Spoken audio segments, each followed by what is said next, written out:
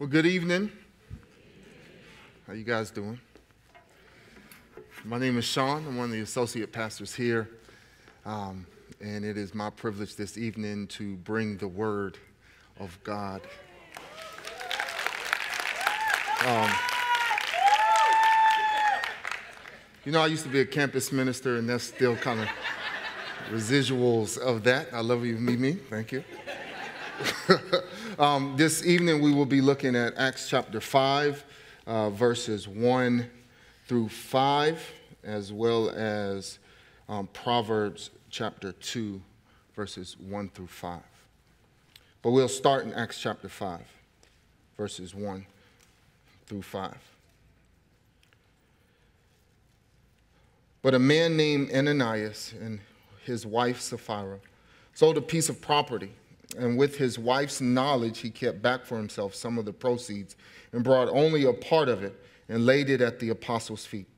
But Peter said, Ananias, why has Satan filled your heart to lie to the Holy Spirit and to keep back for yourself part of the proceeds of the land? While it remained unsold, did it not remain your own? And after it was sold, was it not at your disposal? Why is it that you have contrived this deed in your heart? You have not lied to man, but to God. When Ananias heard these words, he fell down and breathed his last, and great fear came upon all who heard of it. Heavenly Father, we really need your help this evening. I pray, Father God, that you will use me as a tool to communicate your message, um, that you will give us all ears to hear, and that you will begin to inscribe on our hearts um, the lessons that you have for us this evening, those things that are from you. We wanted to, my prayer is that it will produce fruit in us a hundredfold. And so, Holy Spirit, I pray that you will take over, that you will move, and that you will have your way. In the name of Jesus. Amen. May 22nd, close family member, um, my wife's nephew was in a car accident. He was coming out of school. It was right after a track practice. It was raining really hard, and he was riding with a friend. So they get in the car, and, and they're kind of speeding off. You know how it is when you're a teenager. You like to drive a little bit faster, maybe than the suggested speed limit. But because it was raining, the car began to hydroplane and it flipped. The unfortunate thing was that my nephew did not have on his seatbelt. So he bangs his head up against the sunroof so hard that it pops out and as the car rolls over, he eventually gets thrown from the car, and the car lands on top of him, pinning him down. I'm happy to say that by the grace of God, that, that God actually healed him. He had, he had a, a, a 95% chance of dying that God, that God brought him back from that. And, and though he has some physical ailments, we're believing that God's going to fully help him to recover. He finished the whole semester of college. Um, he's actually taking some summer school.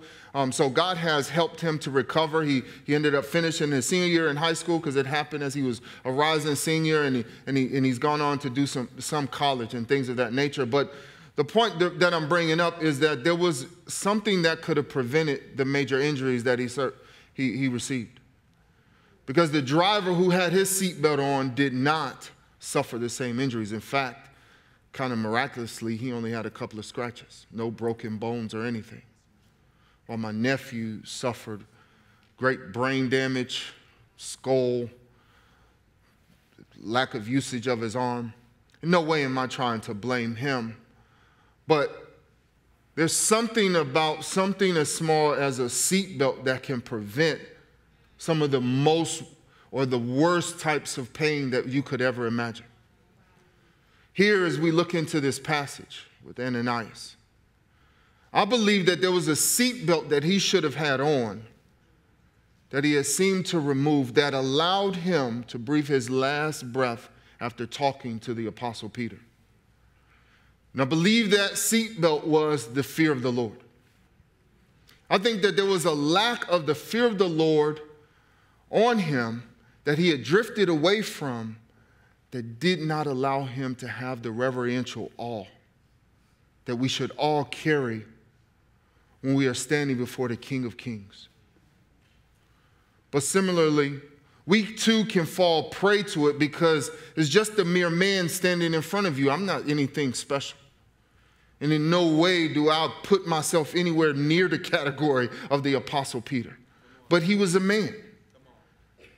And then Ananias saw a man, and him and his wife, they, they took what they had and they presented it as if they could get it by men and receive the applause that would come along with their good deed.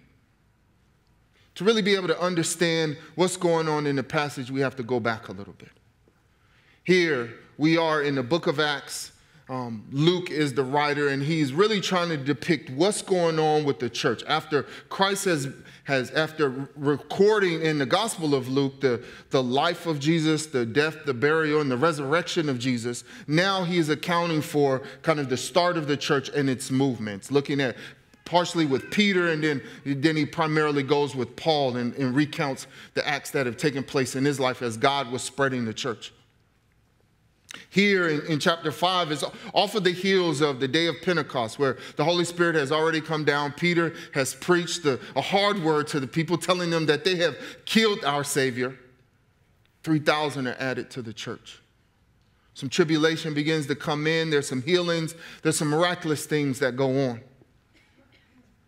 And I would presume that Ananias knew everything that was going on, even if he didn't have the, the, the wasn't blessed enough to really know about Jesus. I'm sure he heard rumors. He may not, may not have encountered him, but he, he certainly would have seen um, the healings. He would have seen or heard um, directly from John and, and Peter about what God was doing.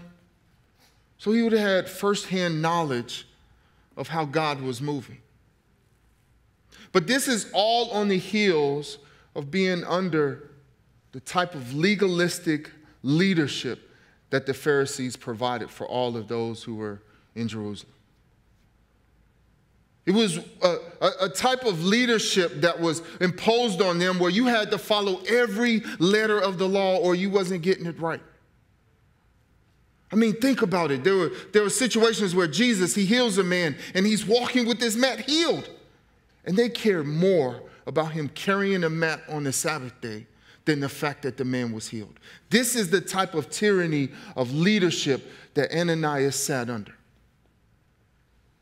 And so he finds a new freedom, a new freedom of grace, the message of grace. We're saved by grace and by faith.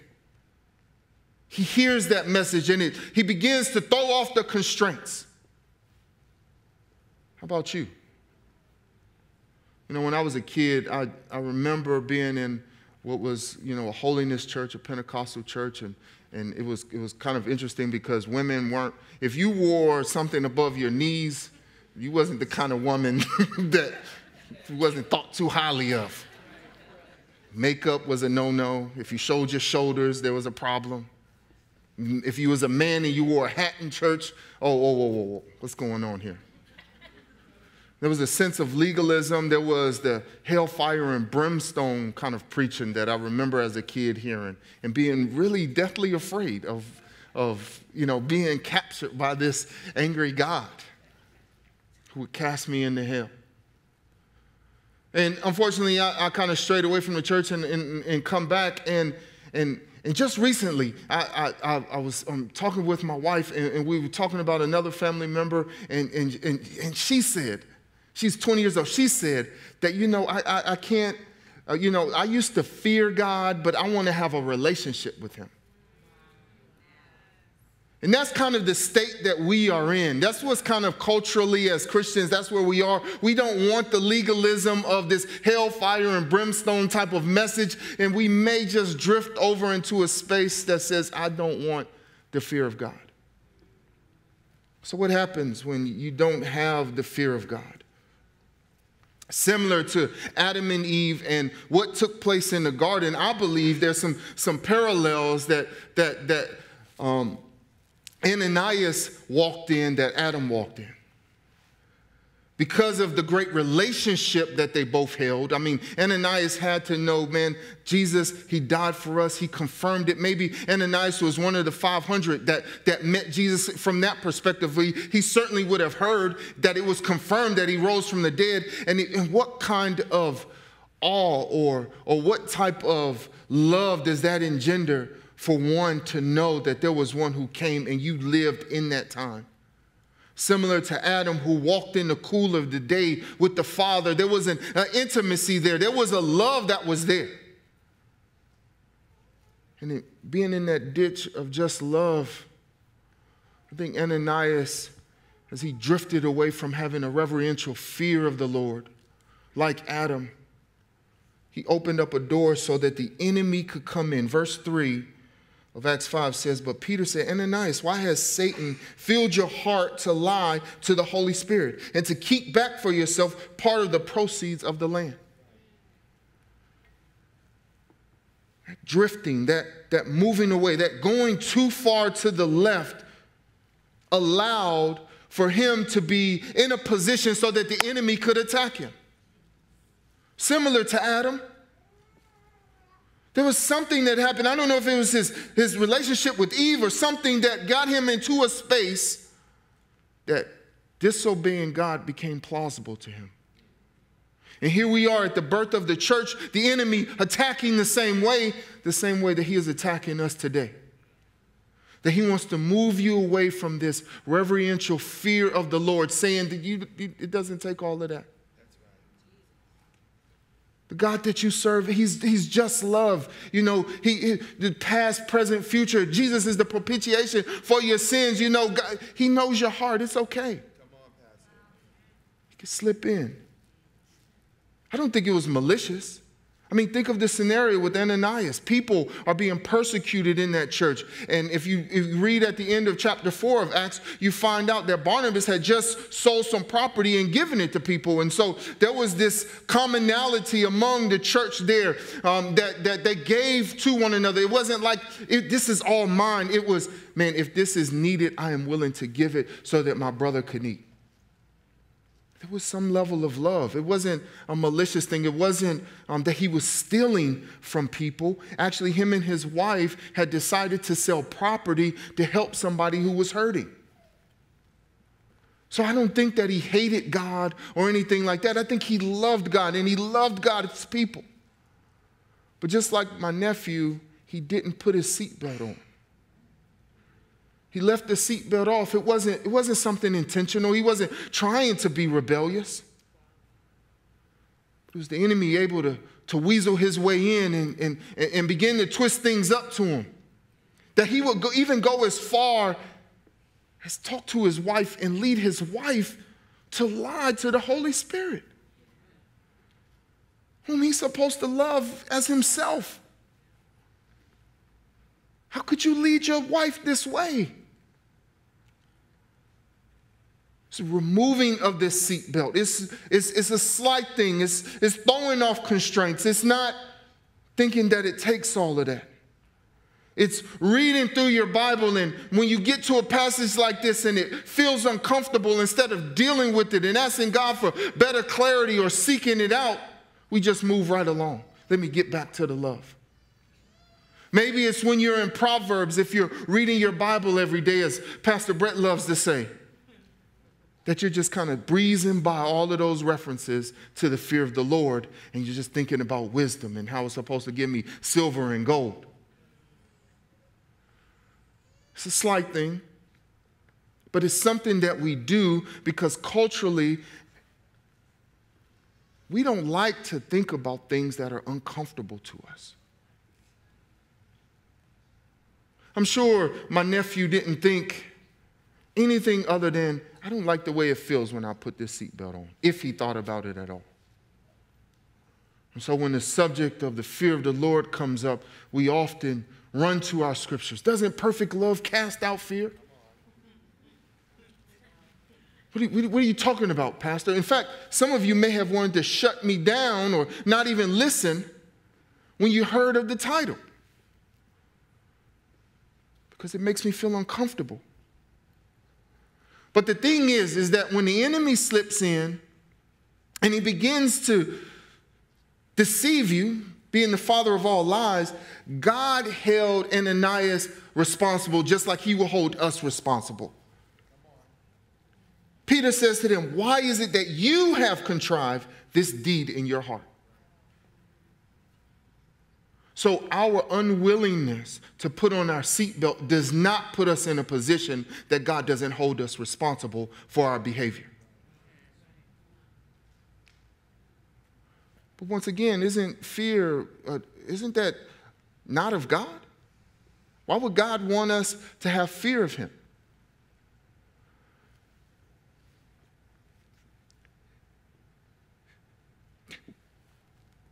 Actually, before I start to deal with why does he want us to have fear of him or what is the fear of the Lord is, is, is, what I should have said. There was one other verse that I want to make sure that I point to is that when we're not putting on the seatbelt, Proverbs 129 says, because they hated knowledge and did not choose the fear of the Lord.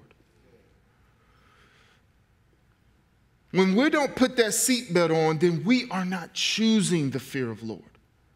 And there comes grave consequences with that. And there in, in, Proverbs chapter 1, where, where, where what, what the author is writing about is the fact that God will not come to the defense of people who, in the moment of tragedy, in the, in the moment of, of, of, of, of a great situation that has come about, come upon them, he's not going to answer because they did not spend time with him beforehand.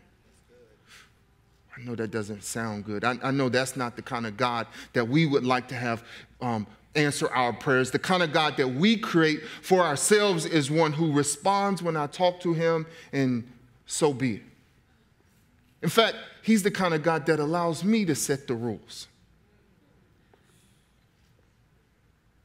That I don't really have to love him with all my heart, with all my mind, with all my soul. When we unbuckle this, the, the fear of the Lord, that's in essence what we begin to say through our behavior and our actions. Now, don't get it twisted. I'm not saying that there isn't grace, but there's a clear example that the Lord is making here. And we see the results of it. In verse 5, and when Ananias um, heard these words, he fell dead and breathed his last, and great fear came upon all who heard of it.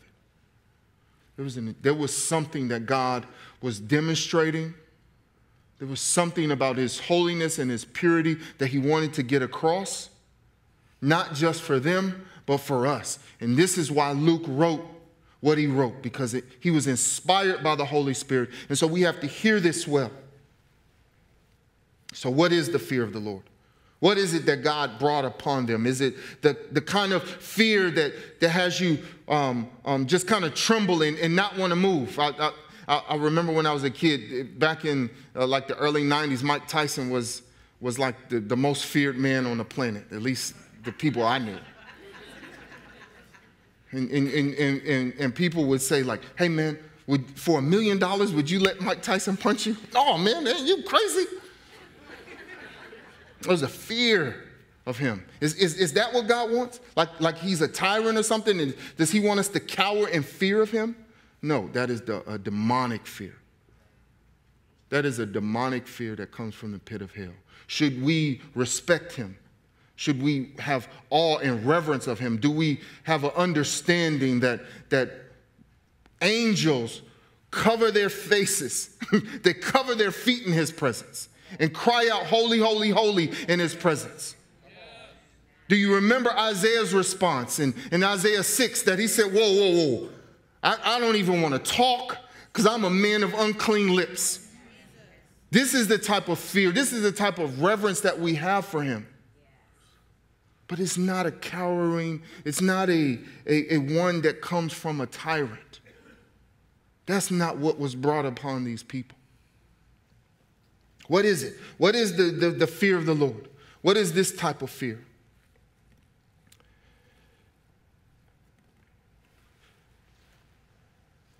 The fear of the Lord can be defined as the continual awareness that our loving Heavenly Father is watching and evaluating everything we think, say, and do. The fear of the Lord can be defined as the continual awareness that our loving Heavenly Father is watching and evaluating everything we think, say, and do. This type of fear includes awe and reverence. It produces submission and submissiveness. This type of fear includes awe and reverence.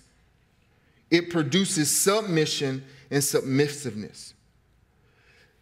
In other words, this type of fear motivates us to seek how to please the Lord in all situations. It's like a child who loves their parents. And it's not so much a fear of punishment that, that motivates them, it's a fear of disappointing them that motivates them in such a way that they look to please them and they ask them questions and they're there and they're, how can I, what should I do? And they, they look to them for everything that they need. The fear of the Lord actually brings about intimacy with the Father. Because if we get too familiar with Him, it could be a, a real problem when we're standing up, when we're standing close to a God who's an all consuming fire. So it, it, it is there as a, as a barrier, it's there as a, as a way of, of, of helping to produce in us the type of behavior that prevents lawlessness. See, I, I, I, I, may have said it earlier. I think there's like two ditches on this, on this narrow road that, that we're supposed to travel on. And one ditch is the legalism. And God said, No, there's grace. There's unmerited favor. You, you didn't deserve it, but you can't earn my love. You can't earn this relationship that I'm inviting you into, so I send my son to die for you. So there's, there's grace to keep us out of this ditch. But when we just presume upon grace and we just presume upon his love for us, there's the other ditch of legalism, the, the, the, oh, excuse me, of lawlessness. And so the fear of the Lord helps us to stay away from the lawlessness. It helps keep us in a path that will be pleasing to Him. Look what Jesus says about the fear of the Lord. He says in Matthew 10 28, Don't be afraid of those who want to kill your body, they cannot touch your soul. Fear only God who can destroy both soul and body in hell. So there should be some fear of God. It should motivate you to walk in holiness. First Peter 1 tells us that our motivation isn't just that he can kill body and soul, but that he, he, he sent his only begotten son to die for us because of the blood. Should motivate us to walk in such a fashion that is obedient to him, to be holy because he's holy. Jesus himself submitted to um, the fear of the Lord. Isaiah chapter 11, verse 3 says, And his delight shall be in the fear of the Lord. Him prophesying about our Savior says that Jesus delighted in the fear of the Lord. Just continual awareness that God is watching. Jesus, when working or, or uh, speaking with the Samaritan woman, tells his disciples that um, as they come back and, and he's already ministered to her and she's gone off to the city to, to share the truths that he shared with her, he tells them that I have a food that you don't know anything about. It's to do the will of my Father. Fear of the Lord produces this type of hunger. It produces this, this type of purpose on the inside of us that, that helps us not to walk in lawlessness, but to walk in obedience. Hebrews 5 7 says this In the days of his flesh, speaking of Jesus, Jesus offered up prayers and supplications with loud cries and tears to him who was able to save him from death. And he was heard because of his reverence. When you look at that in Hebrew, or excuse me, in the Greek, find out that it means godly fear.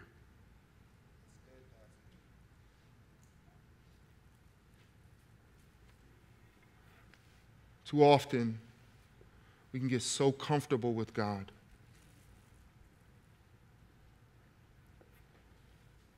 That we make decisions on how to do life without even consulting him. And Ananias, as you read on in, in chapter 5, and, five and, and you find him and, and his wife, they, they suffered tremendously because they didn't consult the Holy Spirit. They didn't consult God before they made a decision. should we give? What would you like for us to give, Father? But because they had drifted into this place of lawlessness, it was the approval of men that they really were after. There was this appearance, this appearance of holiness or, or, or, or whatever it was that, that, that the enemy was able to tempt them with, that to get the approval of these other men and women became more important than the approval of God. Do you, do you see the gravity of keeping the seatbelt of the fear of the Lord disconnected in your life can bring about? Fortunately, none of us are, are just dropping dead in, in, in church services when we've, we've made a poor decision. But has there been a slow drift? Have you noticed that, unlike Jesus, whose prayers were answered because of his reverence, maybe your prayers aren't being answered? Maybe there's some godly knowledge that he wants to give to you, but because you haven't chosen the fear of the Lord, he's not giving you access to it. Maybe like some of us, maybe, or, or maybe there's many of us who don't even real, didn't even realize that there's some treasures that come along with the fear of the Lord. So we haven't even considered what we may be missing out on.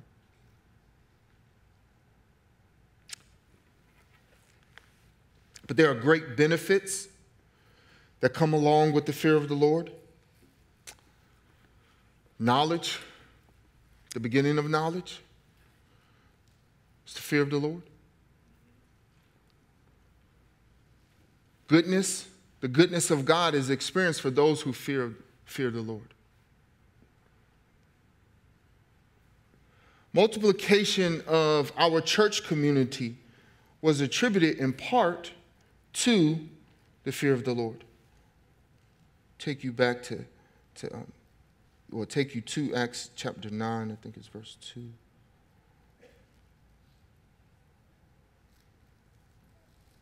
Excuse me not two. Um, hey, can't find it. Verse 31 So the church throughout all Judea and Galilee and Samaria had peace and was being built up and walking in the fear of the Lord and in comfort of the Holy Spirit, it multiplied. We want to win the city. This is a key ingredient this is a key ingredient to us seeing the type of change that we want to see, that God has given us a vision of. It's found here in the fear of the Lord. I'll read it to you again. So the church throughout all Judea and Galilee and Samaria had peace and was being built up and walking in the fear of the Lord and in the comfort of the Holy Spirit, it multiplied. Not just added, it multiplied. So, what do we need to do if we want to choose the whole, if we want to choose this, this holy seatbelt, so to speak? We want to choose um, the fear of the Lord? I think the first thing is that we have to take some time to repent. First and foremost. Man, if, if, you, if you have a sense not of condemnation, but of conviction, that you know, Lord, I have not feared you, you need to take a moment to repent. We need to ask the Holy Spirit to forgive us. So, in very unusual fashion, I just want to take a moment to do that. Because I believe that some of us are feeling this conviction. So, if you don't mind, let's close our eyes and bow our heads. And though I'm going to pray, I pray that you will do business with God yourself. Because it's in this space of turning away from behavior that's not pleasing to Him that we experience really the grace of God on our lives. Heavenly Father, it's been real easy to get to a space where we, we, we heard about the legalism, we heard about the um, fire or, and brimstone type of preaching, Lord God. and, and like Ananias, we, we, we moved away, but maybe we moved a little too far away, and now we're in a space where we don't really have a fear of you, though we love you. Father, forgive us for not choosing the fear of the Lord, not walking in it every day. We pray, Holy Spirit, as one of your manifestations, you said that you, you, you manifest yourself in a spirit of the fear of the Lord. My prayer, Lord God, is that you will begin to fill this room with your presence. The new sense of awe, like in Acts chapter 2, that came upon the people. Not because of anything a man did, but because of the work that you did. We avail ourselves to you now, Holy Spirit.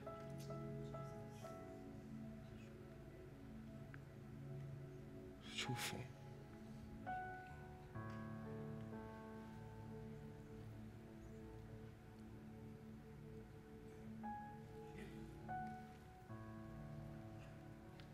Thank you for your conviction, Holy Spirit.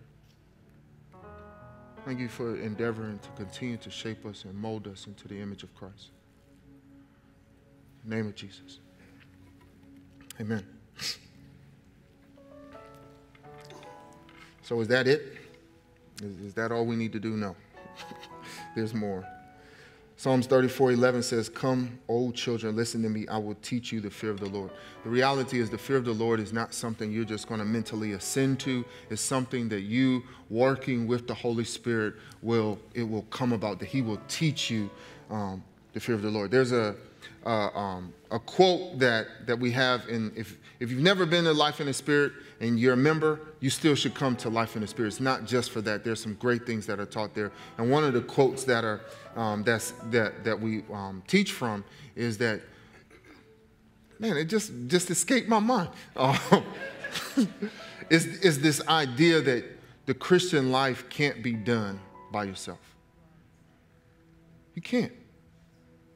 You can't stay in the space where you don't get into the ditch of lawlessness or you get into the ditch of, of, of legalism. You can't, you, I mean, it, it's, it's, not, it, it's just not, it's, you're not able to do that on your own. We need the fear of the Lord. And the Holy Spirit in, in Psalms 34 11 says that He will teach you. And so in, in Proverbs chapter 2, verses 1 through 5, I, I wanted to put it, have them put it up there.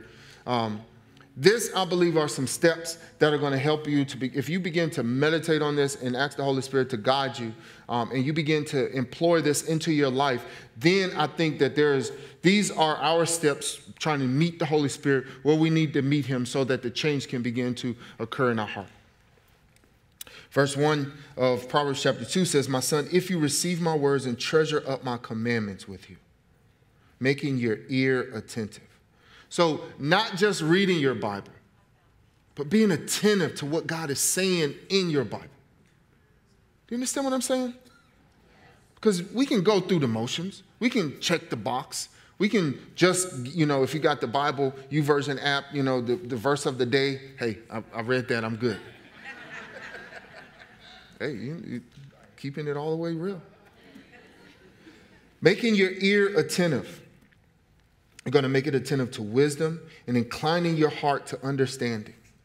See, there is wisdom and understanding that belong with the Lord, then we want to be attentive to that. We don't want to just follow what conventional wisdom is in all the various areas that it may present itself. We want to submit ourselves humbly to the spirit of the fear of the Lord so that He can teach us wisdom and understanding inclining your heart to understanding. Yes, if you call out for insight and raise your voice for understanding. If you seek it like silver and search for it as for hidden treasures. You know, every Friday night, there's a prayer team that gets together over there in the classroom. Shameless plug, I'm over the prayer ministry. We call it Prayer Shield. But we seek the Lord's face together as a community and we cry out to Him and we spend time seeking it because we know his presence and his him speaking to us is more valuable than silver and gold. If you can taste that, if you taste that, the fear of the Lord. You will begin to, to find the fear of the Lord. It, he's telling us that not only do we need to read our word and be attentive to what we're reading, but we need to cry out to God that we need to pray. If you call out for insight and raise your voice for understanding, if you seek it like silver and search for it as for hidden treasures, then you will understand the fear of the Lord and find the knowledge of God. God doesn't want to put you in a space where you're not able to walk holy for He is holy. He wants to help you. But it takes us kneeling down, humbling ourselves, and saying, Holy Spirit, I need your help. That though there's something in me that fights against uh, me wanting to read this word because for some reason it just doesn't seem as exciting as the NBA playoffs or some type of sitcom or drama show. Man, I need this. I need this in my life. When we've getting, gotten to that space, Holy Spirit begins to unravel. He begins to, to show you the fear of the Lord. It's not following a set of rules, though we have to be obedient. Don't, don't get it twisted. But having a fear of the Lord is something that's developed through the intimacy that you have with Him. Being in His Word, spending time in prayer. I believe that God is calling us as a community of believers to really begin to, to walk in this.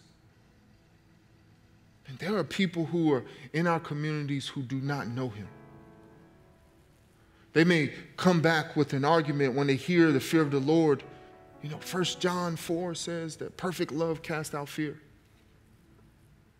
But the reality of what the, what, what the apostle was talking about was the fact that, man, if, if, you're not, if you're not right with God, there's impending doom coming. Understand what I'm saying?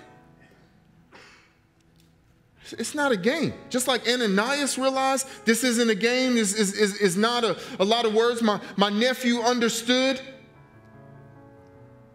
you got to put your seatbelt on. You have to put your seatbelt on. And whether Jesus comes back today or a thousand years from now, in the next 65, 80 years, you're going to go see him. And are you going to be ready for that? And there's a, there, there are people who are outside these walls who don't know that. And us walking in the fear of the Lord helps us to multiply, not for numbers' sake, but that there will be people who will be introduced to someone who actually knows God. So there's something on us that we need to, we need to bend our knee so that others aren't left out in the cold.